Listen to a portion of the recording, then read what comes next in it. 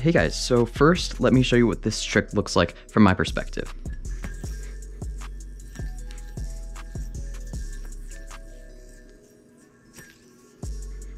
Alright, cool, so let's jump right in. Step one, make sure we have all of our string tension out because there is that slack portion in the beginning and it can be a little bit difficult if we have a little bit of string tension. So get all of that out and let's begin. So you're gonna start in a basic trapeze, just like so, and you're gonna pinch this finger right here, your non-throw hand pointer finger with your thumb, so just like that. From here, you're going to bring this hand around. So this is my throw hand right here. You're gonna bring this hand around from the front. And you're going to whip like this so that a slack goes over your finger like so. So if you kind of look at this like kind of a loop, the left string right here should be going over this finger and the string farther to the right should be connected directly to your finger. The reason I'm saying this is because a lot of people try to do this element over their actual wrist like that, and you run into trouble there because as you notice, the left string is directly connected to your throw hand and the right string is over your wrist. We do not want that.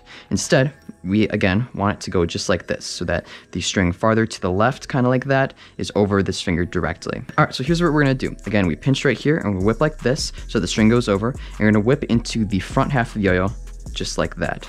So again, we're right here. We're gonna whip this right here into the front half of the yo-yo, just like that. So you should be in this mount. Now that you're right here, what we're gonna do is pop the yo into the string, just kind of like that. Just a little bounce. It kind of adds a little bit of flair. Um, and at least that's just how this trick is done, just like that. And now what you're going to do is roll the yo over this finger right here, just like that, and then off. So these steps are really just kind of for flair, but they do look pretty nice because once you're here, you just pop the yo like that. And again, you're gonna roll the yo over just like that. So you're kind of in this modified kamikaze mount. And then from here, you're just gonna roll off the same way you came.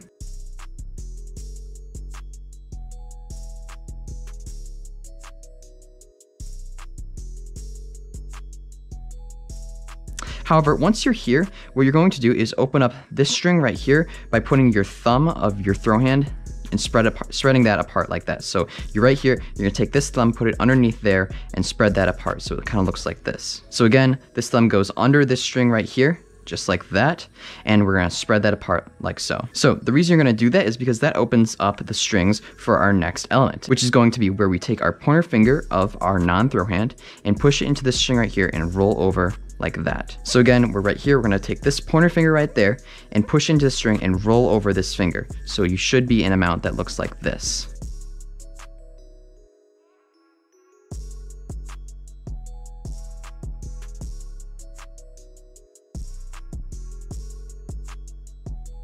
Again, we're right here. Our, our finger's just gonna point, push into that string right there. And now we're gonna be right here.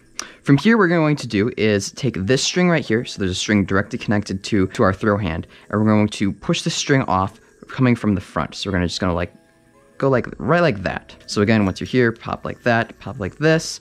We're going to push into the string right here, and we're gonna bring this hand, our throw hand, over from the front, so that that string comes off right there, and there's no string mounted underneath the yo-yo.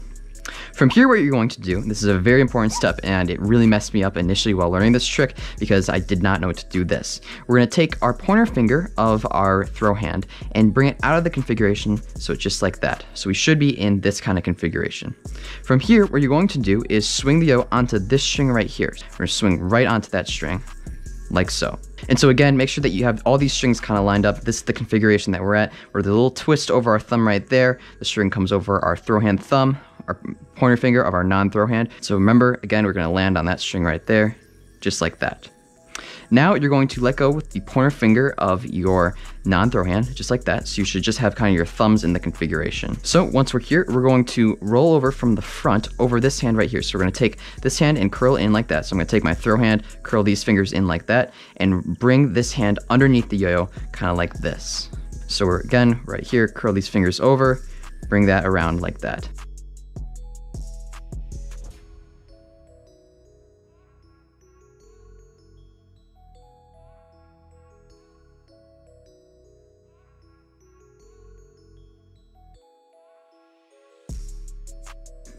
Now we're going to do is spread our hands apart like this. And we're gonna take this string right here and drape it over the front while pinching with our non-throw hand. So just like this. So if you're at this point of the trick, you are almost done.